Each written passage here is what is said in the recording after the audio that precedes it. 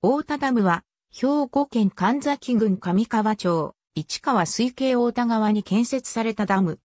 関西電力の発電用ダムで、大田第1ダム、大田第2ダム、大田第3ダム、大田第4ダム、大田第5ダムの総称である。ダム湖の名は、大田地という。大田池は、明治時代、南小田発電所の貯水池として建設された。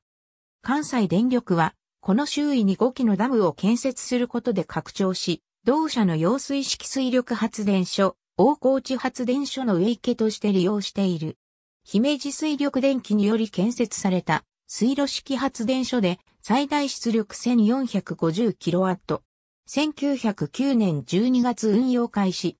姫路水力電気により建設された水路式発電所で最大出力 720kW。1919年5月運用開始。関西電力により建設された揚水式水力発電所で下池、長谷ダムとの間で水を往来させ、最大128万キロワットの電力を発生する。1992年運用開始。大田第1第5ダム。右は、長谷ダム。ありがとうございます。